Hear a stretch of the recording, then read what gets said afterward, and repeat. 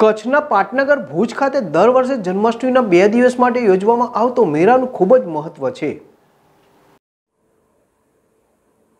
ભુજના હમીરસર કિનારે યોજવામાં આવતો સાતમ આઠમના મેળામાં ભુજ ઉપરાંત ગ્રામ્ય વિસ્તારના લોકો મોટી સંખ્યામાં મેળો મારવા ઉમટી પડતા હોય છે. ગામથી પ્રજા ઉપરાંત શહેરીજનોમાં મેળાનો મહત્વ અનેરો રહ્યો છે. ત્યારે આ વખતે પણ મેળો રદ થતાં મેળા રસિકોમાં નારાજગી જોવા મળી હતી.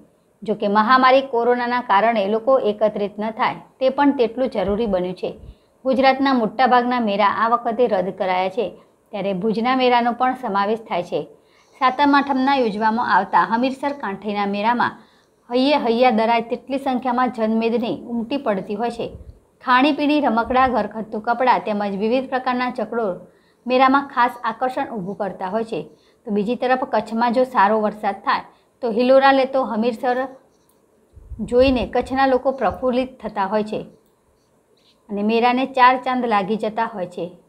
કોરોના મહામારીની ત્રીજી લહેર આવવાના હજી ભણકારા વાગી રહ્યા છે ત્યારે તેની સામે જાગૃતિ પણ જરૂરી બની રહી છે. પાલિકા મેળો યોજવા નથી જઈ રહી તેમ છતાં લોકો અથવા ધંધાદારીઓ નિયમ ભંગ કરશે તો પાલિકા પોલીસને સાથે રાખી પગલાં ભરશે. અલી મોહમ્મદ ચાકી, જેડેશ ટીવી, કચ્છ. ઓકે સર આપ ખાસ કરીને આપણે વાત કરીએ તો આવનારા સમયમાં સાતમ, આઠમ આવી રહી છે. ત્યારે આપણે કોઈ મેળાઓની સિઝન શરૂ થાય છે તો શું આપણે મેળો યોજવા માટે નગરપાલિકા શું કરશે? સૌથી પહેલાં તો આ મેળો નગરપાલિકા યોજવાની નથી. અમે આજે જ ઓફિશિયલી એની પ્રેસ નોટ ઇસ્યુ કરવાના છીએ. પણ